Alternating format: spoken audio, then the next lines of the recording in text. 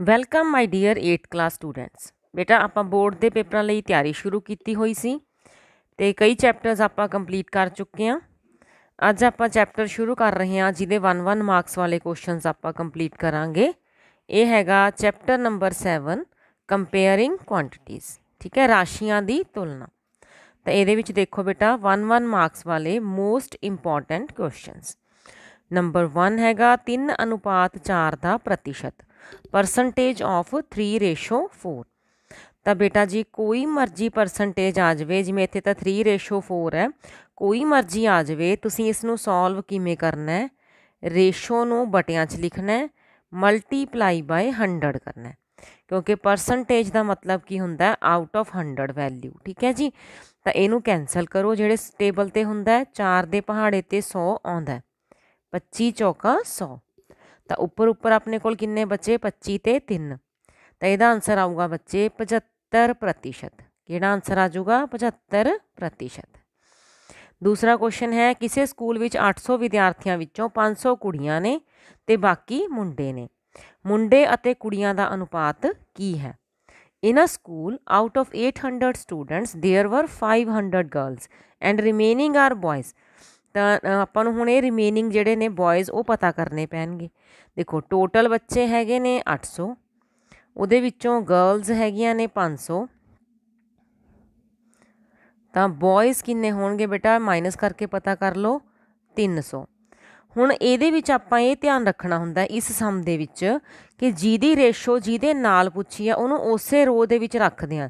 ਜਿਵੇਂ ਮੁੰਡਿਆਂ ਦੀ ਕੁੜੀਆਂ ਨਾਲ ਰੇਸ਼ੋ ਪੁੱਛੀ ਹੈ ਤਾਂ ਪਹਿਲਾਂ ਆਪਾਂ ਮੁੰਡਿਆਂ ਦੀ ਸੰਖਿਆ ਹੀ ਰੱਖਾਂਗੇ, ਠੀਕ ਹੈ? ਜੇ ਸਟੇਟਮੈਂਟ ਦੇ ਵਿੱਚ ਕਿਹਾ ਹੁੰਦਾ, ਕੁੜੀਆਂ ਦੀ ਮੁੰਡਿਆਂ ਨਾਲ ਰੇਸ਼ੋ ਪਤਾ ਕਰੋ, ਤਾਂ ਆਪਾਂ ਕੁੜੀਆਂ ਦੀ ਸੰਖਿਆ ਨੂੰ ਪਹਿਲਾਂ ਰੱਖਦੇ, ਠੀਕ ਹੈ ਜੀ? ਹੁਣ ਦੇਖੋ ਬੇਟਾ, ਪਿਛਲੀਆਂ ਦੋ ਜ਼ੀਰੋਜ਼ ਪਿਛਲੀਆਂ ਦੋ ਜ਼ੀਰੋਜ਼ ਨਾਲ ਕੱਟ ਗਈਆਂ ਤੇ ਆਨਸਰ ਆ ਗਿਆ ਆਪਣਾ 3 ਰੇਸ਼ੋ 5 ਯਾਨੀ ਕਿ ਸੈਕਿੰਡ ਆਪਸ਼ਨ ਹੁਣ ਜੇ ਤੁਸੀਂ ਗਲਤੀ ਨਾਲ ਪਹਿਲਾਂ ਮੁੰਡਿਆਂ ਦੀ ਹਾਂ, ਕੁੜੀਆਂ ਦੀ ਰੱਖ ਲੈਂਦੇ ਗਿਣਤੀ, ਬਾਅਦ ਚੋਂ ਮੁੰਡਿਆਂ ਦੀ ਰੱਖ ਲੈਂਦੇ, ਫਿਰ ਆਨਸਰ ਕੀ ਆਉਂਦਾ? 5 ਰੇਸ਼ੋ 3 ਤੇ ਇਹ ਆਪਸ਼ਨ ਵੀ ਇੱਥੇ ਹੈਗੀ ਸੀ ਬਟ ਉਹ ਸਵਾਲ ਗਲਤ ਹੋ ਜਾਂਦਾ। ਫੋਲੋ ਕਰ ਰਹੇ ਹੋ ਮੇਰੀ ਗੱਲ ਨੂੰ? ਜਿਹੜੀ ਗੱਲ ਪਹਿਲਾਂ ਲਿਖੀ ਹੁੰਦੀ ਹੈ ਬੇਟਾ ਉਸ ਨੂੰ ਹੀ ਆਪਾਂ ਪਹਿਲਾਂ ਲਿਖਣਾ ਹੁੰਦਾ ਜਿਹੜੀ ਪਹਿਲਾਂ ਪੁੱਛੀ ਹੈ, ਠੀਕ ਹੈ ਜੀ? ਨੈਕਸਟ ਦੇਖੋ। ਚਾਰ ਬੈਂਗਨ 3.5 ਰੁਪਏ ਵਿੱਚ ਖਰੀਦੇ ਗਏ ਅਤੇ 4 ਰੁਪਏ ਵਿੱਚ ਵੇਚੇ ਗਏ। 3.5 ਰੁਪਏ ਮੰਨ ਲਓ, ਠੀਕ ਹੈ? ਇਸ ਸੌਦੇ ਵਿੱਚ ਲਾਭ ਜਾਂ ਹਾਨੀ ਕਿੰਨਾ ਹੋਵੇਗਾ? 4 brinjals are bought for rupees 3.5 and sold for rupees 4 find the profit or loss in this. ਤਾਂ ਪਹਿਲਾਂ ਬੇਟਾ ਇਹ ਚੈੱਕ ਕਰੋ ਕਿ ਪ੍ਰੋਫਿਟ ਹੋਇਆ ਕਿ ਲਾਸ ਹੋਇਆ। ਖਰੀਦੇ ਸੀਗੇ ਉਹਨੇ 3.50 ਦੇ। ਇਹ ਜ਼ੀਰੋ ਮੈਂ ਤਾਂ ਲਾਈਏ ਕਿਉਂਕਿ ਪੈਸਿਆਂ ਦੇ ਵਿੱਚ ਆਪਾਂ ਡਬਲ ਡਿਜਿਟ ਹੀ ਲਿਖਦੇ ਆ ਹਨਾ? ਥੋੜਾ ਜਿਹਾ ਆਪਣੇ ਕੰਫਰਟੇਬਲ ਰਹਿੰਦਾ ਮਾਈਂਡ ਨੂੰ। 4 ਰੁਪਏ ਵਿੱਚ ਉਹਨੇ ਵੇਚੇ ਨੇ। ਤਾਂ ਜਿਹੜਾ ਸੇਲ ਪ੍ਰਾਈਸ ਹੈ ਉਹ ਜ਼ਿਆਦਾ ਹੈ ਤੇ ਜਿਹੜੀ ਕਾਸਟ ਪ੍ਰਾਈਸ ਹੈ ਉਹ ਘੱਟ ਹੈ। ਤਾਂ ਬੇਟਾ ਆਪਾਂ ਨੂੰ ਹੋ ਰਿਹਾ ਹੈ ਪ੍ਰੋਫਿਟ ਲਾਭ ਹੋਇਆ। ਤਾਂ ਲਾਭ ਕਿੰਨਾ ਹੋਇਆ? 0 ਚੋਂ 0 ਗਈ 0 ਹੁਣ ਸਮਰੱਥ ਕਰਕੇ ਚੁੱਕਿਆ ਤਾਂ ਸਭ ਨੂੰ ਮਾਈਨਸ ਕਰਨਾ ਆਉਂਦਾ ਹੈ। ਇੱਥੋਂ ਆਪਾਂ ਇਹਦਾ ਕੈਰੀ ਲਿੱਤਾ ਬੋਰੋ ਕੀਤਾ ਇਹਨੇ 0 ਨੇ ਇਹਦੇ ਤੋਂ। ਇੱਥੇ ਰਹਿ ਗਿਆ 10 ਠੀਕ ਹੈ? ਇਸ ਅੱਖਰ ਨੇ ਇਸ ਨੂੰ ਹਸਲ ਦੇਤਾ। 10 ਚੋਂ 5 ਗਏ 5 3 ਚੋਂ 3 ਗਏ 0 ਤਾਂ ਆਪਾਂ ਨੂੰ ਸਿਰਫ 50 ਪੈਸਿਆਂ ਦਾ ਪ੍ਰੋਫਿਟ ਹੋ ਰਿਹਾ। ਤਾਂ ਕਿਹੜੀ ਆਪਸ਼ਨ ਦੇ ਵਿੱਚ ਲਿਖਿਆ ਹੋਇਆ 50 ਪੈਸਿਆਂ ਦਾ ਪ੍ਰੋਫਿਟ ਪਹਿਲੀ 'ਚ। ਅਗਲਾ ਦੇਖੋ 2000 ਰੁਪਏ ਤੇ 6% ਦਰ ਨਾਲ 2 ਸਾਲ ਦਾ ਸਧਾਰਨ ਵਿਆਜ। ਸਿੰਪਲ ਇੰਟਰਸਟ ਪੁੱਛਿਆ ਬੇਟਾ। ਪੀ ਪਤਾ ਹੈ ਤੁਹਾਨੂੰ? ਰੇਟ ਪਤਾ ਹੈ ਐਂਡ ਟਾਈਮ ਪਤਾ ਹੈ। ਤਾਂ ਸਿੰਪਲ ਇੰਟਰਸਟ ਦਾ ਫਾਰਮੂਲਾ ਕੀ ਹੁੰਦਾ ਹੈ? P multiply R multiply T over 100 ਤਾਂ P ਹੈਗਾ 2000 R ਹੈਗਾ 6 ਤੇ ਆਪਣੇ ਕੋਲੇ ਸਮਾਂ ਹੈਗਾ 2 ਸਾਲ ਦਾ। ਬਟੇ ਹੈਗਾ 100 ਦੋ ਜ਼ੀਰੋਆਂ ਨਾਲ ਦੋ ਜ਼ੀਰੋਆਂ ਕੱਟ ਗਿਆ ਬਾਕੀ ਨੂੰ ਮਲਟੀਪਲਾਈ ਕਰ ਲਓ। 6 ਦੂਣੀ 12 12 ਦੂਣਾ 24 24 ਦੇ ਨਾਲ ਉਹ ਵਾਲੀ ਜ਼ੀਰੋ ਲੱਗ ਜਾਓ ਜਿਹੜੀ ਛੱਡੀ ਵੀ ਹੈ। ਠੀਕ ਹੈ? ਤਾਂ ਇਹਦਾ ਆਨਸਰ ਆ ਜਾਊਗਾ 240 ਰੁਪਏ। ਠੀਕ ਹੈ ਬੇਟਾ ਜੀ ਨੈਕਸਟ ਦੇਖੋ। On which of the following profit percent or loss percent is calculated ਤਾਂ ਕਿਹੜੇ ਮੁੱਲ ਤੇ ਇਹਦੇ ਆਪਾਂ ਲਾਭ ਪ੍ਰਤੀਸ਼ਤ ਜਾਂ ਹਾਨੀ ਪ੍ਰਤੀਸ਼ਤ ਦੀ ਗਣਨਾ ਕਰਦੇ ਹਾਂ? ਤੇ ਬੇਟਾ ਇਹਦੇ ਵਿੱਚ ਕਨਫਿਊਜ਼ ਹੋਣ ਦੀ ਲੋੜ ਨਹੀਂ, ਤੁਹਾਨੂੰ ਜਸਟ ਫਾਰਮੂਲਾ ਯਾਦ ਹੋਣਾ ਚਾਹੀਦਾ। ਤੁਸੀਂ ਲਾਭ ਪ੍ਰਤੀਸ਼ਤ ਜਾਂ ਹਾਨੀ ਪ੍ਰਤੀਸ਼ਤ ਦਾ ਫਾਰਮੂਲਾ ਲਿਖਦੇ ਹੋ। ਠੀਕ ਹੈ, ਤਾਂ ਉੱਪਰ ਤੁਸੀਂ ਜੋ ਹੈਗਾ ਲਾਸ ਦਾ ਹੈਗਾ ਤਾਂ ਲਾਸ ਲਿਖਦੇ ਹੋ ਪ੍ਰੋਫਿਟ ਦਾ ਹੈਗਾ ਤਾਂ ਪ੍ਰੋਫਿਟ ਲਿਖਦੇ ਹੋ। ਓਵਰ ਦੋਨੇ ਫਾਰਮੂਲਿਆਂ 'ਚ ਕੀ ਲਿਖਦੇ ਹੋ? ਸੀਪੀ ਇਨਟੂ ਕੀ ਹੁੰਦਾ? 100 ਤਾਂ ਦੋਨੋਂ ਵੈਲਿਊਜ਼ ਕਿਹੜੇ ਮੁੱਲ ਤੇ ਆਪਾਂ ਗਣਨਾ ਕਰਦੇ ਆ ਸੀਪੀ ਯਾਨੀ ਕਿ ਕਾਸਟ ਪ੍ਰਾਈਸ ਤੇ, ਖਰੀਦ ਮੁੱਲ ਤੇ। ਠੀਕ ਹੈ? ਤੇ ਜਿਹੜਾ ਇਸ ਤਰ੍ਹਾਂ ਦਾ ਹੋਰ ਕੁਐਸਚਨ ਆਉਂਦਾ ਹੁੰਦਾ, ਉਹ ਕਟੌਤੀ ਵਾਲਾ, ਵੀ ਡਿਸਕਾਊਂਟ ਪਰਸੈਂਟ ਕਿਹਦੇ ਤੇ ਮਾਪਿਆ ਜਾਂਦਾ? ਤਾਂ ਉੱਪਰ ਡਿਸਕਾਊਂਟ ਲਿਖਦੇ ਹੁੰਨੇ ਆ ਨੀਚੇ ਐਮਪੀ ਲਿਖਦੇ ਹੁੰਨੇ ਆ ਇਨਟੂ 100 ਲਿਖਦੇ ਹੁੰਨੇ ਆ ਤਾਂ ਉਹ ਕਿਸ ਤੇ ਉਸ ਦੀ ਗਣਨਾ ਕੀਤੀ ਜਾਂਦੀ ਹੈ? ਮਾਰਕਟ ਪ੍ਰਾਈਸ ਤੇ, ਯਾਨੀ ਕਿ ਅੰਕਿਤ ਮੁੱਲ ਤੇ। ਠੀਕ ਹੈ ਬੇਟਾ? ਚਲੋ ਦੇਖਦੇ ਹਾਂ ਅਗਲਾ। ਅੱਛਾ, ਲਓ, ਜਿਹੜੀ ਮੈਂ ਤੁਹਾਨੂੰ ਗੱਲ ਪਹਿਲਾਂ ਹੁਣੀ ਦੱਸ ਕੇ ਹਟੀਆਂ ਉਹੀ ਅਗਲੀ ਫਿਲਪ 'ਚ ਆ ਗਈ। ਡੈਸ਼ ਦੀ ਗਣਨਾ ਹਮੇਸ਼ਾ ਅੰਕਿਤ ਮੁੱਲ ਤੇ ਕੀਤੀ ਜਾਂਦੀ ਹੈ। ਤਾਂ ਕੀ ਦੀ ਗਣਨਾ ਬੇਟਾ? ਕਟੌਤੀ ਦੀ। ਡਿਸਕਾਊਂਟ ਦੀ। ਡਿਸਕਾਊਂਟ ਉੱਥੇ ਸਪੈਲਿੰਗ ਪੂਰੇ ਨਹੀਂ ਆ ਰਹੇ ਸੀ। ਠੀਕ ਹੈ? ਤੇ ਅੱਗੇ ਦੇਖੋ ਉਸੇ ਸੈਵਨਥ ਚ ਪੁੱਛਿਆ ਫਾਰਮੂਲਾ ਪੂਰਾ ਕਰਨਾ ਆਪਾਂ, ਵੀ ਜੇ ਖਰੀਦ ਮੁੱਲ ਦੇ ਵਿੱਚ ਲਾਭ ਜੋੜ ਦਿੰਨੇ ਆ ਤਾਂ ਕੀ ਬਣ ਜਾਂਦਾ? ਜਿੰਨੇ ਦੀ ਚੀਜ਼ ਖਰੀਦੀ, ਤੇ ਉਹਦੇ ਤੇ ਆਪਾਂ ਕੁਝ ਪ੍ਰੋਫਿਟ ਲਿੱਤਾ, ਤੇ ਉਹਨੂੰ ਵੇਚਤਾ। ਤਾਂ ਐਸਪੀ ਹੀ ਆਊਗੀ ਬੇਟੇ, ਠੀਕ ਹੈ? ਤਾਂ ਇਹਦੇ ਚ ਕੀ ਆਊਗਾ ਉਰੇ? ਐਸਪੀ ਯਾਨੀ ਕਿ ਵੇਚ ਮੁੱਲ। ਜਦੋਂ ਵੀ ਲਾਭ ਹੋ ਰਿਹਾ ਹੁੰਦਾ ਬੱਚੇ, ਉਹ ਜਦੋਂ ਆਪਾਂ ਵੇਚ ਮੁੱਲ ਕੱਢਦੇ ਆ ਤਾਂ ਲਾਭ ਹਮੇਸ਼ਾ ਖਰੀਦ ਮੁੱਲ ਦੇ ਵਿੱਚ ਜੁੜਦਾ ਹੁੰਦਾ ਜਦੋਂ ਹਾਨੀ ਹੋ ਰਹੀ ਹੁੰਦੀ ਹੈ, ਉਦੋਂ ਆਪਾਂ ਵੇਚ ਮੁੱਲ ਕੱਢਣਾ ਤਾਂ ਖਰੀਦ ਮੁੱਲ ਦੇ ਵਿੱਚੋਂ ਹਾਨੀ ਘਟਾਉਣੀ ਪੈਂਦੀ ਹੁੰਦੀ ਹੈ। ਠੀਕ ਹੈ? ਭਾਗ ਦੁਆਰਾ ਕੀਤੀ ਗਈ ਦੋ ਰਾਸ਼ੀਆਂ ਦੀ ਤੁਲਨਾ ਨੂੰ, ਜਦੋਂ ਆਪਾਂ ਭਾਗ ਦਾ ਕੰਪੇਅਰ ਕਰਦੇ ਆਂ ਡਿਵੀਜ਼ਨ ਦੇ ਨਾਲ, ਤਾਂ ਆਪਾਂ ਉਹਨਾਂ ਨੂੰ ਬੇਟਾ ਅਨੁਪਾਤ ਕਹਿੰਦੇ ਹੁੰਨੇ ਆ ਰੇਸ਼ੋ ਕਹਿੰਦੇ ਹੁੰਨੇ ਆ ਠੀਕ ਹੈ ਜੀ? ਅਗਲਾ ਸਿੰਪਲ ਇੰਟਰਸਟ ਦਾ ਫਾਰਮੂਲਾ ਪੂਰਾ ਕਰਨਾ ਹੈ। P R T ਓਵਰ 100 ਠੀਕ ਹੈ ਬੇਟਾ ਇੰਨਾ ਪਤਾ ਲੱਗ ਗਿਆ ਨੈਕਸਟ ਦੇਖਦੇ ਹਾਂ ਹਾਂਜੀ ਨੌਵਾਂ ਕੁਐਸਚਨ ਆਪਾਂ ਕਰ ਲਿਆ ਦਸਵਾਂ ਦੇਖੋ ਕਹਿੰਦੇ ਜਿਹੜਾ 75% ਹੈ ਉਹਨੂੰ ਆਪਾਂ ਕਿਹਦੇ ਬਟੇ 4 ਲਿਖ ਸਕਦੇ ਹਾਂ ਤਾਂ ਇਹ ਮਤਲਬ ਕਿਸ ਤਰ੍ਹਾਂ ਦਾ ਕੁਐਸਚਨ ਹੈ ਆਪਾਂ ਨੇ 75% ਨੂੰ ਭਿੰਨ ਰੂਪ 'ਚ ਬਦਲਣਾ ਠੀਕ ਹੈ 75% ਨੂੰ ਪਹਿਲਾਂ ਭਿੰਨ 'ਚ ਕਿਵੇਂ ਲਿਖਾਂਗੇ 75 ਬਟੇ 100 ਕਿਹੜੇ ਪਹਾੜੇ ਤੇ ਕੱਟਦੇ ਨੇ? 25 ਦੇ ਪਹਾੜੇ ਤੇ। 25 ਦੀਆਂ 75 25 ਚੌਕਾ 100 ਤਾਂ ਇੱਥੇ ਕਿੰਨਾ ਆਨਸਰ ਭਰਿਆ ਜਾਊਗਾ? 3 ਠੀਕ ਹੈ? ਨੈਕਸਟ ਹੈਗਾ 6 ਕਿਲੋਮੀਟਰ ਦਾ 600 ਮੀਟਰ ਨਾਲ ਅਨੁਪਾਤ। 1 ਅਨੁਪਾਤ 100 ਹੁੰਦਾ ਹੈ। ਇਹ ਆਪਾਂ ਨੇ ਸਹੀ ਜਾਂ ਗਲਤ ਦੱਸਣਾ ਇਹਨੂੰ ਸੋਲਵ ਕਰਨਾ ਪਊਗਾ। 6 ਕਿਲੋਮੀਟਰ ਤੇ 600 ਮੀਟਰ। ਹੁਣ ਸਭ ਤੋਂ ਪਹਿਲੀ ਗੱਲ, ਇਹਨਾਂ ਦੀ ਜਿਹੜੀ ਯੂਨਿਟ ਹੈ, ਉਹ ਸੇਮ ਨਹੀਂ ਹੈਗੀ। ਪਹਿਲਾਂ ਤੁਸੀਂ ਇਹਨਾਂ ਦੀ ਯੂਨਿਟ ਨੂੰ ਸੇਮ ਕਰਨਾ ਹੈ। 1 ਕਿਲੋਮੀਟਰ ਦੇ ਵਿੱਚ ਕਿੰਨੇ ਮੀਟਰ ਹੁੰਦੇ ਨੇ? 1000 ਮੀਟਰ। ਤਾਂ ਤੁਸੀਂ ਇਹਦੇ ਨੂੰ 6 ਕਿਲੋਮੀਟਰ ਦੇ 6000 ਮੀਟਰ ਬਣਾ ਲਏ। ਪਿਛਲੀਆਂ ਦੋ ਜ਼ੀਰੋਆਂ ਨਾਲ ਦੋ ਜ਼ੀਰੋਆਂ ਕੱਟ ਗਈਆਂ। 60 ਤੇ ਜਿਹੜਾ 6 ਹੈ, ਉਹ 6 ਦੇ ਪਹਾੜੇ ਤੇ ਕੱਟ ਗਈ। ਤਾਂ ਆਪਣੇ ਕੋਲ ਸਿਰਫ 10 ਅਨੁਪਾਤ 1 ਆਊਗਾ। ਇਹਨੇ ਕਿਹਾ 1 ਅਨੁਪਾਤ 100 ਹੁੰਦਾ ਤਾਂ ਕੀ ਹੋ ਗਿਆ ਇਹ? ਰੋਂਗ ਹੈ। ਨੈਕਸਟ ਇੱਕ ਭਿੰਨ ਨੂੰ ਪ੍ਰਤੀਸ਼ਤ ਅਤੇ ਪ੍ਰਤੀਸ਼ਤ ਨੂੰ ਭਿੰਨ ਵਿੱਚ ਬਦਲਿਆ ਜਾ ਸਕਦਾ ਹੈ। Fraction can be converted into percentage and vice versa ਤਾਂ ਬੱਚੇ, ਆਪਾਂ ਨੇ ਇਸ ਸਵਾਲ ਦੇ ਵਿੱਚ 75% ਨੂੰ, ਮਤਲਬ ਪ੍ਰਤੀਸ਼ਤ ਨੂੰ ਭਿੰਨ ਚ ਬਦਲਿਆ। ਤਾਂ ਭਿੰਨ ਦਾ ਪ੍ਰਤੀਸ਼ਤ ਕਿਹੜੇ ਸਵਾਲ ਚ ਬਣਾਇਆ ਸੀ? ਪਹਿਲੇ ਚ। ਹਾਂਜੀ, ਇਹ ਟਰੂ ਹੈ। ATM ਦਾ ਜਿਹੜਾ ਅਰਥ ਹੈ ਆਟੋਮੇਟਿਡ ਟੈਲਰ ਮਸ਼ੀਨ ਹੁੰਦਾ ਹੈ। ਹਾਂਜੀ, ਇਹ ਸਹੀ ਹੈ। 25% ਦਾ ਦਸ਼ਮਲਵ ਨਿਰੂਪਣ। ਹੁਣ 25% ਨੂੰ ਆਪਾਂ ਦਸ਼ਮਲਵ ਚ ਲਿਖਣਾ ਤਾਂ ਪਹਿਲਾਂ 25% ਨੂੰ ਭਿੰਨ ਚ ਲਿਖਿਆ 25 100 ਹਰ ਚ ਕਿੰਨੀਆਂ ਜ਼ੀਰੋਆਂ ਨੇ? ਦੋ। ਤਾਂ ਉਹ ਦੋ ਅੱਖਰਾਂ ਤੋਂ ਪਹਿਲਾਂ ਲੱਗਣਗੀਆਂ। ਡੈਸੀਮਲ ਜਿਹੜਾ ਹੈ, ਦੋ ਅੱਖਰਾਂ ਤੋਂ ਪਹਿਲਾਂ ਲੱਗੂਗਾ। ਇਹਨੇ 2.5 ਕਿਹਾ ਤਾਂ ਇਹ ਹੋ ਜਾਊਗਾ ਬੇਟਾ ਜੀ ਰੋਂਗ। ਨੈਕਸਟ ਹੈਗਾ ਜੀਐਸਟੀ ਦਾ ਜਿਹੜਾ ਅਰਥ ਹੈ, ਵਸਤੂ ਅਤੇ ਸੇਵਾ ਕਰ ਹੈ। ਹਾਂਜੀ ਬੇਟਾ, ਇਹਦਾ ਨਾਮ ਹੁੰਦਾ ਹੈ ਗੁੱਡਸ ਐਂਡ ਸਰਵਿਸ ਟੈਕਸ ਠੀਕ ਹੈ, ਵਸਤੂ ਅਤੇ ਸੇਵਾ ਕਰ ਇਹ ਸਹੀ ਹੈ। ਨੈਕਸਟ ਦੇਖਦੇ ਹਾਂ ਜੀ। ਹਾਂਜੀ ਨੈਕਸਟ ਆ ਗਏ ਬੇਟੇ ਆਪਣੇ ਕੋਲੇ ਚੈਪਟਰ ਅੱਛਾ, ਇੱਕ ਮਿੰਟ ਉਸ ਤੋਂ ਪਹਿਲਾਂ ਮੈਂ ਇਹ ਦੱਸਦਾ, ਉਰੇ ਇਹਨੇ ਐਕਟ ਲਿਖਿਆ ਹੋਇਆ ਇਹ ਟੈਕਸ ਹੈ ਚਲੋ ਨੈਕਸਟ ਜਿਹੜੇ ਚੈਪਟਰ ਨੇ ਬੇਟਾ ਅਲਜਬਰਿਕ ਆਇਡੈਂਟੀਟੀਜ਼ ਚੈਪਟਰ ਨੰਬਰ 8 ਤੇ ਮੈਂਸੂਰੇਸ਼ਨ ਚੈਪਟਰ ਨੰਬਰ 9 ਇਹਦੇ ਵਿੱਚ ਬੇਟਾ ਦੇਖੋ 1 1 ਮਾਰਕਸ ਵਾਲੇ ਕੁਐਸਚਨ ਪਹਿਲਾਂ ਫਿਲਅਪਸ ਦਿੱਤੀਆਂ ਹੋਈਆਂ। The formula to calculate the perimeter of square ਵਰਗ ਦਾ ਪਰਿਮਾਪ ਪਤਾ ਕਰਨ ਦਾ ਸੂਤਰ। ਤਾਂ ਇੱਥੇ ਸਿਰਫ ਆਪਾਂ ਫਾਰਮੂਲਾ ਹੀ ਲਿਖਣਾ ਹੈ। 4 ਸਾਈਡ ਯਾਨੀ ਕਿ 4 ਗੁਣਾ ਪੂਜਾ ਪਰਿਮਾਪ ਪੁੱਛਿਆ, ਠੀਕ ਹੈ ਜੀ? The formula to calculate the area of circle ਚੱਕਰ ਦਾ ਖੇਤਰਫਲ ਪਤਾ ਕਰਨ ਦਾ ਕੀ ਫਾਰਮੂਲਾ ਹੁੰਦਾ? ਹੁਣ ਚੱਕਰ ਦਾ ਖੇਤਰਫਲ ਕੀ ਹੁੰਦਾ ਬੇਟਾ? Pi r square. ਅਗਲਾ ਹੈਗਾ 1 ਮਿਲੀਲੀਟਰ ਕਿੰਨੇ ਸੈਂਟੀਮੀਟਰ ਕਿਊਬ ਦੇ ਬਰਾਬਰ ਹੁੰਦਾ ਹੈ? 1 ਦੇ। ਠੀਕ ਹੈ? Next if the side of a cube is doubled the volume of the cube will become dash times. ਜੇ ਇੱਕ ਘਣ ਦੀ ਭੁਜਾ ਨੂੰ ਦੁੱਗਣਾ ਕਰ ਦਈਏ ਤਾਂ ਉਹਦਾ ਆਇਤਨ ਕਿੰਨੇ ਗੁਣਾ ਹੋ ਜਾਊਗਾ? ਤਾਂ ਬੇਟਾ ਇੱਥੇ ਮੈਂ ਤੁਹਾਨੂੰ ਟ੍ਰਿਕ ਦੱਸਦੀ ਆ, ਇਹ ਜਿਹਾ ਸਵਾਲ ਕਰਨ ਦੀ ਕੋਈ ਰੱਟਾ ਨਹੀਂ ਲਾਉਣਾ, ਕੋਈ ਯਾਦ ਨਹੀਂ ਕਰਨਾ। ਤੁਸੀਂ ਸਭ ਤੋਂ ਛੋਟੀ ਸਾਈਡ ਲੈ ਲਓ, ਠੀਕ ਹੈ? ਤੁਸੀਂ 1 ਲੈ ਲਓ ਸਾਈਡ ਜਿਹੜੀ ਕਿਊਬ ਦੀ। ਉਹਦਾ ਵੋਲਿਊਮ ਕੱਢੋ, ਤਾਂ 1 ਦਾ ਕਿਊਬ ਕਿੰਨਾ ਹੁੰਦਾ ਹੈ? 1 ਫਿਰ ਤੁਸੀਂ ਉਹਨੂੰ ਡਬਲ ਕਰ ਦਿਓ, ਠੀਕ ਹੈ? 1 ਨੂੰ ਡਬਲ ਕਰ ਦਿਓ। ਅੱਛਾ, ਜੇ ਤੁਹਾਨੂੰ 1 ਦਾ ਡਬਲ ਨਹੀਂ ਸਮਝ ਆਊਗਾ ਤਾਂ ਇੱਥੇ ਤੁਸੀਂ 2 ਲੈ ਲਓ। 2 ਦਾ ਕਿਊਬ ਕਿੰਨਾ ਹੋਊਗਾ? 8 2 ਦਾ ਡਬਲ ਲੈ ਲਓ, ਕਿਉਂਕਿ 1 ਦਾ 2 ਕਰਨਾ ਔਖਾ ਨਾ 2 ਦਾ 4 ਤੁਹਾਨੂੰ ਯਾਦ ਹੁੰਦਾ ਹੈ ਨਾ ਤਾਂ ਸੌਖੀ ਜੀ ਚੀਜ਼ ਬਣਾਓ।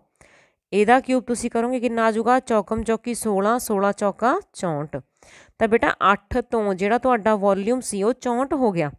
ਤਾਂ 8 ਦਾ ਪਹਾੜਾ ਪੜੋ 64 ਕਿੱਥੇ ਆਉਂਦਾ 8 ਹੋ 8 ਹੀ 64 ਤਾਂ ਇਹ 8 ਗੁਣਾ ਹੋ ਜਾਊਗਾ ਬੇਟਾ 8 ਟਾਈਮਸ ਹੋ ਜਾਊਗਾ। ਠੀਕ ਹੈ ਜੀ, ਸਮਝ ਆ ਗਿਆ? ਨੈਕਸਟ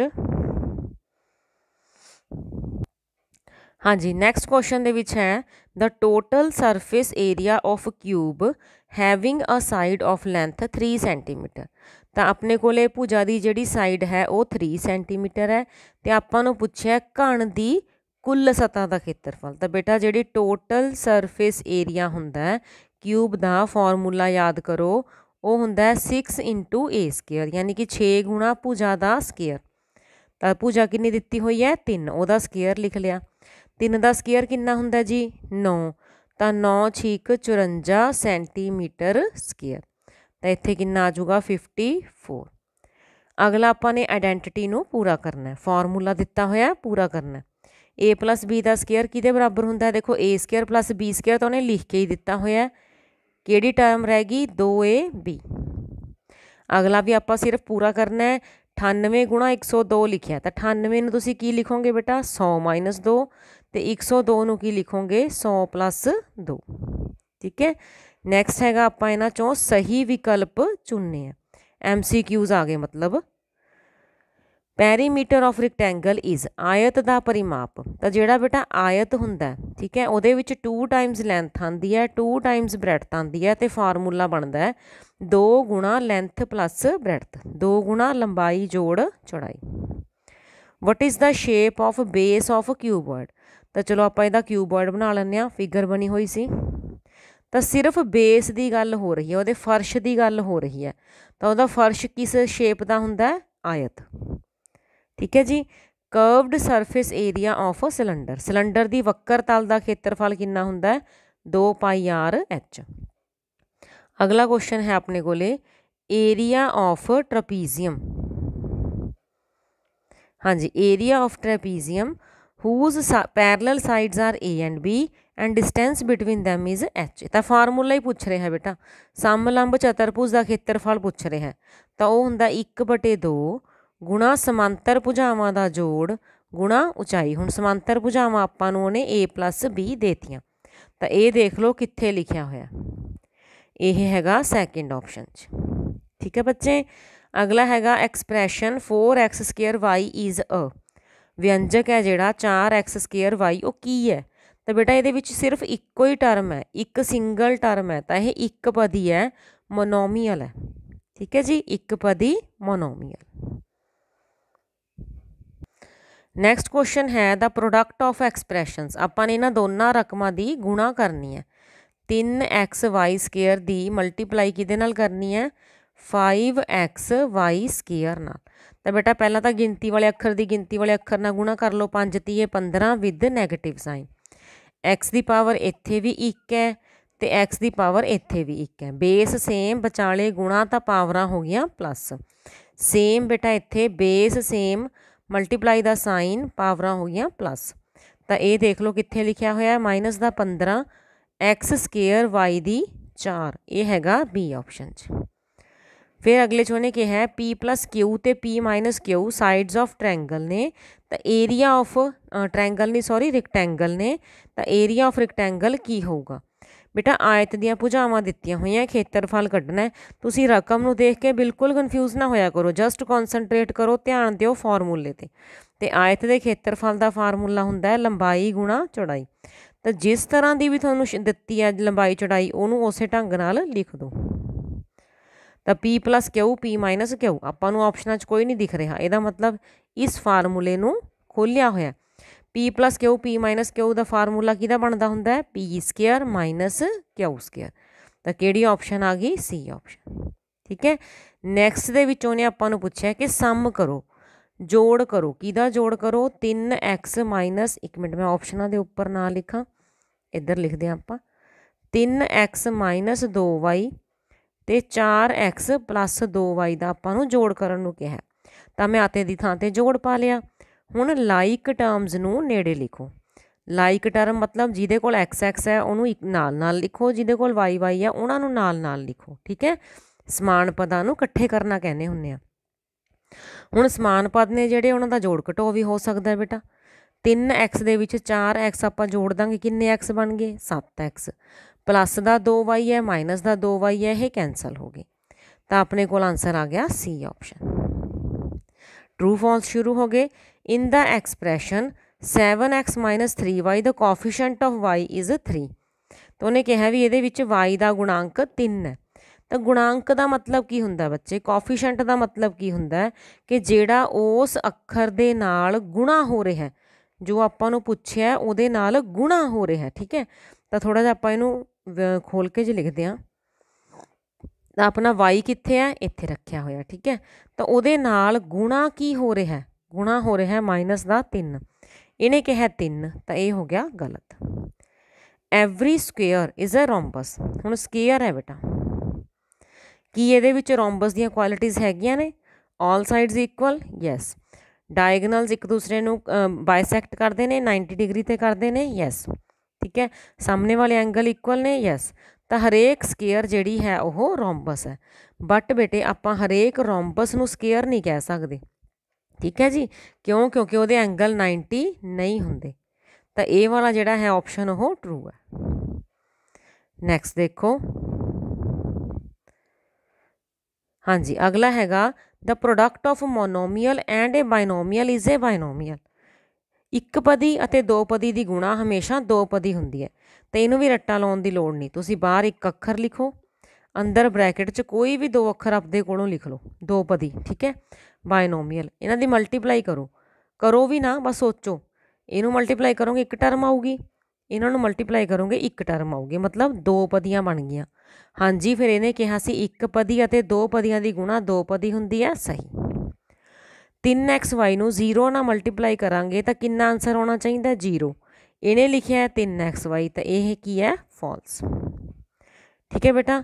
ਹਲੇ ਮੈਨੂੰ ਲੱਗਦਾ ਹੈ ਵੀਡੀਓ ਥੋੜੇ ਮਿੰਟਾਂ ਦੀ ਹੋਈ ਹੋਈ ਆਪਾਂ ਅਗਲਾ ਚੈਪਟਰ ਵੀ ਕਰ ਲੈਂਦੇ ਆ ਅਗਲਾ ਚੈਪਟਰ ਹੈਗਾ ਪਾਵਰਸ ਐਂਡ ਐਕਸਪੋਨੈਂਟਸ ਸੌਖਾ ਹੀ ਹੈ ਚੈਪਟਰ ਜਿਹਨੂੰ ਆਪਾਂ ਘਾਤਾਂ ਦੇ ਜਿਹੜੇ ਨਿਯਮ ਨੇ ਉਹ ਯਾਦ ਨੇ, ਉਹਦੇ ਲਈ ਤਾਂ ਸੌਖਾ ਹੀ ਹੈ। ਦੇਖੋ, a ਦੀ ਪਾਵਰ m ਹੈ ਇਨਟੂ a ਦੀ ਪਾਵਰ n ਹੈ, ਕਿਹਦੇ ਬਰਾਬਰ ਹੋਊਗੀ? ਦੇਖੋ ਬੇਸ ਬਰਾਬਰ ਵਿਚਾਲੇ ਗੁਣਾ ਦਾ ਸਾਈਨ, ਤਾਂ ਪਾਵਰਾਂ ਕੀ ਹੁੰਦੀਆਂ ਨੇ ਜੀ? ਪਲੱਸ ਹੁਣ ਦੇਖਦੇ ਆ ਆਪਾਂ ਥੋੜਾ ਜ਼ੂਮ ਕਰਕੇ ਪਲੱਸ ਕਿਹਦੇ ਚ ਲਿਖਿਆ ਹੋਇਆ ਫਰਸਟ ਆਪਸ਼ਨ ਦੇ ਵਿੱਚ।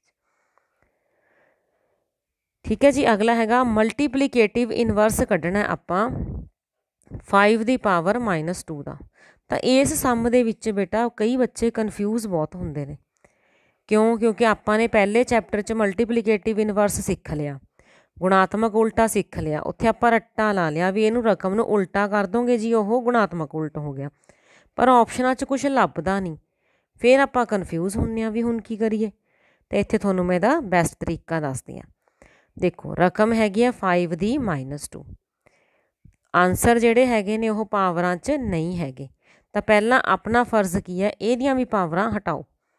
-2 ਤਾਂ ਆਪਾਂ ਖੋਲ ਨਹੀਂ ਸਕਦੇ, ਠੀਕ ਹੈ? ਤਾਂ ਪਾਵਰ ਦੀ ਇਹਨੂੰ ਪੋਜ਼ਿਟਿਵ ਕਰਨ ਲਈ ਆਪਾਂ ਨੂੰ ਇਹਨੂੰ ਬੇਸ ਨੂੰ ਉਲਟਾ ਕਰਨਾ ਪਿਆ। ਪਾਵਰ ਪੋਜ਼ਿਟਿਵ ਹੋ ਗਈ। ਇਹਦਾ ਆਨਸਰ ਕੀ ਆਇਆ? 1/25 5 ਦਾ ਸਕੁਅਰ 25 ਹੁਣ ਬੇਟਾ ਇਸ ਰਕਮ ਦਾ ਗੁਣਾਤਮਕ ਉਲਟਾ ਤਾਂ ਆਪਾਂ ਲਿਖ ਸਕਦੇ ਆ ਨਾ। 1/25 ਦਾ ਗੁਣਾਤਮਕ ਉਲਟਾ ਕੀ ਹੁੰਦਾ? 25 ਠੀਕ ਹੈ? ਨੈਕਸਟ ਦੇਖੋ। ਫਾਈਂਡ ਦਾ ਵੈਲਿਊ ਆਫ 2 ਦੀ ਪਾਵਰ ਹੈਗੀ ਹੈ ਜੀ -5 ਇਨਟੂ 2 ਦੀ ਪਾਵਰ ਹੈਗੀ ਹੈ 6 ਬੇਸ ਇਕੁਅਲ ਬਚਾਲੇ ਮਲਟੀਪਲਾਈ ਦਾ ਸਾਈਨ ਤਾਂ ਪਾਵਰਾਂ ਕੀ ਹੋਣਗੀਆਂ? ਪਲੱਸ ਹੁਣ 6 ਪਲੱਸ ਦਾ 5 ਮਾਈਨਸ ਦਾ ਹੋਊਗਾ ਤਾਂ ਮਾਈਨਸ ਨਿਸ਼ਾਨੀ ਵੱਡੇ ਅੱਖਰ ਦੀ ਲੱਗਣੀ ਹੈ। ਤਾਂ ਇਹਦਾ ਆਨਸਰ ਆ ਜਾਊਗਾ 2 ਦੀ ਪਾਵਰ 1 ਮੀਨਸ 2 ਅਗਲੇ 'ਚ ਵੀ ਆਪਾਂ ਪਾਵਰਾਂ ਦਾ ਰੂਲ ਲਗਾਉਣਾ ਹੈ। ਪਾਵਰ ਦੇ ਉੱਪਰ ਇੱਕ ਪਾਵਰ ਹੈ, ਤਾਂ ਇਹ ਪਾਵਰਾਂ ਮਲਟੀਪਲਾਈ ਹੋ ਜਾਂਦੀਆਂ ਨੇ। ਦੇਖੋ, ਆਪਾਂ ਇਹ ਰੂਲ ਕੀਤਾ ਹੋਇਆ x ਦੀ ਪਾਵਰ m ਦੀ ਪਾਵਰ n n ਲਿਖੀਏ ਇਹਨੂੰ। ਇਹ ਇਕੁਅਲ ਹੁੰਦਾ ਹੈ x ਦੀ ਪਾਵਰ m n ਤਾਂ 4 ਤੀਏ ਕਿੰਨਾ ਹੋ ਗਿਆ ਬੇਟਾ? 12 ਤੇ ਇਹਦਾ ਆਪਸ਼ਨ ਕਿਹੜਾ ਆ ਗਿਆ? B ਨੈਕਸਟ ਬਹੁਤ ਸੌਖਾ ਕੁਐਸਚਨ ਹੈ। ਮੁੱਲ ਪਤਾ ਕਰਨਾ ਹੈ, ਜਦੋਂ ਵੀ ਬੇਟਾ ਕਿਸੇ ਵੀ ਬੇਸ ਦੀ ਪਾਵਰ 0 ਹੁੰਦੀ ਹੈ, ਤਾਂ ਉਹਦਾ ਆਨਸਰ ਹੁੰਦਾ ਹੈ 1 ਤਾਂ ਇਹਦਾ ਆਨਸਰ ਵੀ ਕੀ ਆਊਗਾ? 1 ਕਿਉਂਕਿ ਸਭ ਦੇ ਉੱਪਰ ਪਾਵਰ ਜਿਹੜੀ ਹੈ 0 ਹੈ। ਅੱਛਾ, ਇਹ ਵਾਲੇ ਕੁਐਸਚਨ ਜਿਹੜਾ 6th ਹੈ, ਇਹ ਵੀ ਮੋਸਟ ਇੰਪੋਰਟੈਂਟ ਹੈ। ਯਾਦ ਰੱਖਣਾ ਤੁਹਾਨੂੰ, ਠੀਕ ਹੈ? ਇੱਥੇ ਮੈਂ ਫਾਰਮੂਲਾ ਦੱਸਦੀ ਹਾਂ। -1 ਦੇ ਉੱਪਰ ਬੇਟਾ ਜੇ ਈਵਨ ਪਾਵਰ ਆਉਂਦੀ ਹੈ, ਮਤਲਬ ਜਿਸ ਘਾਤ ਆਉਂਦੀ ਹੈ 2 ਦੇ ਪਹਾੜੇ ਤੇ ਜਾਣ ਵਾਲੀ ਘਾਤ ਆਉਂਦੀ ਹੈ, ਤਾਂ ਉਹਦਾ ਆਨਸਰ ਹਮੇਸ਼ਾ +1 ਹੋਊਗਾ। ਜੇ -1 ਦੀ ਜਿਹੜੀ ਪਾਵਰ ਹੈ, ਉਹ ਔਡ ਆਉਂਦੀ ਹੈ, ਯਾਨੀ ਕਿ ਟਾਂਕ ਆਉਂਦੀ ਹੈ, ਤਾਂ ਉਹਦਾ ਆਨਸਰ ਹਮੇਸ਼ਾ -1 ਹੋਊਗਾ। ਤਾਂ ਇਹਦਾ ਆਨਸਰ ਕਿੰਨਾ ਹੈ? -1 ਕਿਉਂਕਿ 23 ਕੀ ਹੈ? ਇੱਕ ਟਾਂਕ ਸੰਖਿਆ। ਨੈਕਸਟ ਕੁਐਸਚਨ ਮੋਸਟ ਇੰਪੋਰਟੈਂਟ ਹੈ, ਕਿਉਂਕਿ ਆਪਾਂ ਇਹਦੇ ਵਿੱਚ ਮੋਸਟਲੀ ਗਲਤੀ ਕਰਦੇ ਹਾਂ। 100 ਦੀ ਪਾਵਰ 0 20 ਦੀ ਪਾਵਰ 0 5 ਦੀ ਪਾਵਰ 0 ਤੁਸੀਂ ਕੀ ਕਰੋਗੇ? ਇਹਨੂੰ 125 ਲਿਖਿਆਉਂਗੇ ਕਿਉਂ ਬੱਚੇ? ਘਾਤਾਂ ਵਾਲੇ ਨਿਯਮ ਕਿੱਥੇ ਗਏ? 100 ਦੀ ਪਾਵਰ 0 ਦਾ ਮਤਲਬ 1 20 ਦੀ ਪਾਵਰ 0 ਦਾ ਮਤਲਬ 1 5 ਦੀ ਪਾਵਰ 0 ਦਾ ਮਤਲਬ 1 ਤਾਂ 1 1 1 ਕਿੰਨਾ ਹੋ ਗਿਆ? 3 ਠੀਕ ਹੈ ਜੀ? ਸਮਝ ਆ ਗਿਆ? ਨੈਕਸਟ।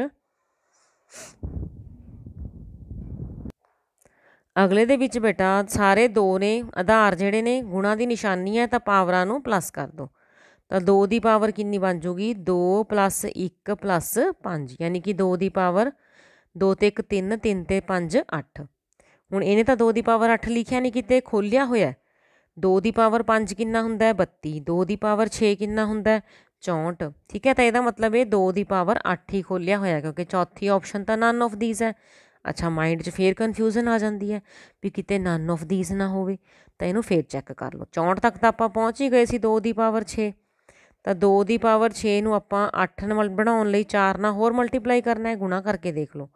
ਚੌਕਮ ਚੌਕੀ 16 ਹਾਸਲ 1 6 ਚੌਕਾ 24 ਤੇ 1 25 ਆਪਣੇ ਮਨ ਦੀ ਕਨਫਿਊਜ਼ਨ ਵੀ ਠੀਕ ਹੋ ਗਈ। ਠੀਕ ਹੈ ਜੀ? ਨੈਕਸਟ ਦੇਖੋ।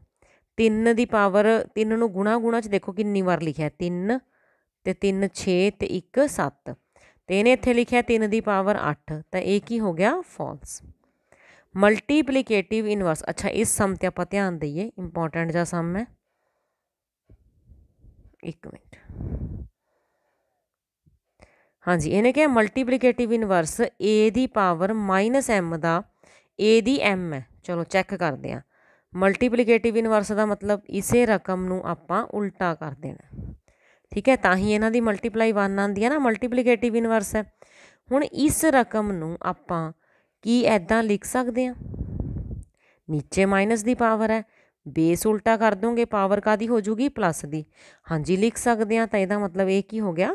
ਟਰੂ ਅੱਛਾ, ਜਿਹੜਾ ਆਪਾਂ ਉੱਪਰ ਕੁਐਸਚਨ ਕੀਤਾ ਸੀ 5 ਦੀ ਪਾਵਰ -2 ਤਾਂ ਇਹਦਾ ਗੁਣਾਤਮਕ ਉਲਟ ਕੀ ਆਇਆ ਸੀ? 25 ਆਇਆ ਸੀ। ਤਾਂ ਫਿਰ ਇੱਥੇ ਵੀ ਗੱਲ ਇਹ ਸਹੀ ਹੈ ਕਿ 5 ਦੀ ਪਾਵਰ 2 ਲਗਾ ਲਓ। ਠੀਕ ਹੈ? 5 ਦੀ ਪਾਵਰ 2 1 ਆਊਗਾ। ਹਾਂਜੀ, ਆਊਗਾ। ਕਿਉਂਕਿ -2 2 0 ਹੋ ਗਈ। 0 ਦੀ ਪਾਵਰ ਦਾ ਮਤਲਬ 1 ਠੀਕ ਹੈ? ਸਮਝ ਆ ਗਈ ਇਹ ਗੱਲ? ਅਗਲਾ ਬੇਸ ਸੇਮ ਨੇ ਵਿਚਾਲੇ ਡਿਵਾਈਡ ਦੀ ਨਿਸ਼ਾਨੀ ਹੈ। ਤੇ ਡਿਵਾਈਡ ਦੀ ਨਿਸ਼ਾਨੀ ਹੈ ਤਾਂ ਆਨਸਰ ਕੀ ਆਉਣਾ ਚਾਹੀਦਾ ਸੀ? M n ਇਹਨੇ ਲਿਖਿਆ ਪਲੱਸ ਤਾਂ ਇਹ ਵੀ ਕੀ ਹੋ ਗਿਆ? ਫਾਲਸ ਫਿਲਪ ਭਰਨੀ ਆਪਾਂ। 3 ਦਾ ਸਕੁਅਰ ਕਿੰਨਾ ਹੁੰਦਾ ਜੀ? 9 4 ਦਾ ਸਕੁਅਰ 16 ਸਾਰੇ ਦੀ ਪਾਵਰ ਕਿੰਨੀ ਹੈ? 0 16 ਤੇ 9 ਹੋ ਗਏ 25 25 ਦੀ ਪਾਵਰ ਹੋ ਗਈ 0 ਤਾਂ ਆਨਸਰ ਕਿੰਨਾ ਆਇਆ? 1 ਠੀਕ ਹੈ? ਨੈਕਸਟ ਫੇਰ ਉਸੇ ਟਾਈਪ ਦਾ ਕੁਐਸਚਨ ਆ ਗਿਆ ਆਪਣੇ ਕੋਲੇ। ਦਾ ਵੈਲਿਊ ਆਫ ਆਪਾਂ ਨੇ 1 ਓਵਰ 5 ਦੀ ਪਾਵਰ -2 ਦਾ ਮੁੱਲ ਕੱਢਣਾ ਤਾਂ ਮਾਈਨਸ ਪਾਵਰ ਤਾਂ ਆਪਾਂ ਖੋਲ ਹੀ ਨਹੀਂ ਸਕਦੇ ਹੁੰਦੇ। 1/5 ਦੇ ਬੇਸ ਨੂੰ ਉਲਟਾ ਕਰ ਲਓ, ਉਹਦਾ ਰੈਸੀਪ੍ਰੋਕਲ ਲੈ ਲਓ। 5 ਹੋ ਗਿਆ ਤੇ ਪਾਵਰ ਜਿਹੜੀ ਆ ਉਹ ਪਲੱਸ ਦੀ ਹੋ ਜੂਗੀ। ਤੇ ਇਹਦਾ ਆਨਸਰ ਕਿੰਨਾ ਆ ਜਾਊਗਾ 25 ਦਾ ਵੈਲਿਊ ਆਫ a ਦੀ ਪਾਵਰ 0 ਕਿੰਨੀ ਹੋਊਗੀ ਬੇਟਾ? 1 ਅੱਗੇ 3 ਦੀ ਪਾਵਰ 7 ਡਿਵਾਈਡ 3 ਦੀ ਪਾਵਰ 9 ਤਾਂ ਆਪਾਂ ਨੂੰ ਪਤਾ ਹੈ ਬੇਸ ਬਰਾਬਰ ਹੋਣ, ਵਿਚਾਲੇ ਡਿਵਾਈਡ ਦਾ ਸਾਈਨ ਹੋਵੇ, ਤਾਂ ਆਪਾਂ ਪਾਵਰਾਂ ਨੂੰ ਕੀ ਕਰਨਾ ਹੈ? ਮਾਈਨਸ ਦੇਖੋ, ਹੁਣ ਇਹਦਾ ਆਨਸਰ ਕਿੰਨਾ ਆਊਗਾ? 7 ਚੋਂ 9 ਘਟਾਉਣੇ ਆਪਾਂ, ਜਾਂ ਮੰਨ ਲਓ 9 ਚੋਂ 7 ਘਟਾਉਣੇ ਆ। ਆਨਸਰ 2 ਆਊਗਾ, ਨਿਸ਼ਾਨੀ ਵੱਡੇ ਅੱਖਰ ਦੀ ਲੱਗੂਗੀ। ਤੇ ਇਹਦਾ ਆਨਸਰ ਕੀ ਆਊਗਾ? 3 ਦੀ ਪਾਵਰ -2 ਇਹ ਲਿਖਿਆਉਂਗੇ ਤਾਂ ਵੀ ਸਹੀ ਹੈ। ਜੇ ਤੁਸੀਂ ਇਸ ਨੂੰ ਲਿਖਿਆ ਹੋਗੇ ਐਦਾਂ ਤਾਂ ਵੀ ਸਹੀ ਹੈ। ਜੇ ਤੁਸੀਂ ਇਹਦਾ ਆਨਸਰ ਲਿਖਿਆ ਹੋਗੇ 1/9 ਤਾਂ ਵੀ ਸਹੀ ਹੈ। ਠੀਕ ਹੈ? ਅੱਗੇ ਅੱਗੇ ਆਪਾਂ ਪਾਵਰਾਂ ਖੋਲੀ ਗਏ। ਠੀਕ ਹੈ ਬੇਟਾ, ਇੰਨਾ ਸਮਝ ਆ ਗਿਆ। ਇਸ ਇਸ ਵੀਡੀਓ ਦੇ ਵਿੱਚ ਬੱਚੇ ਆਪਾਂ ਤਿੰਨ ਚੈਪਟਰਸ ਕਵਰ ਕਰ ਲਏ। ਠੀਕ ਹੈ? ਜਲਦ ਹੀ ਆਪਾਂ ਮਿਲਦੇ ਹਾਂ ਨੈਕਸਟ ਵੀਡੀਓ ਦੇ ਵਿੱਚ ਨੈਕਸਟ ਚੈਪਟਰਸ ਦੇ ਨਾਲ। ਬਣੇ ਰਹਿਣਾ let's learn with easy tricks ਨਾਲ। ਠੀਕ ਹੈ ਜੀ? ਸਬਸਕ੍ਰਾਈਬ ਕਰ ਲਓ ਸ਼ੇਅਰ ਜ਼ਰੂਰ ਕਰ ਦਿਆ ਕਰੋ। ਠੀਕ ਹੈ ਜੀ? ਬਾਏ ਬੇਟਾ ਟੇਕ ਕੇਅਰ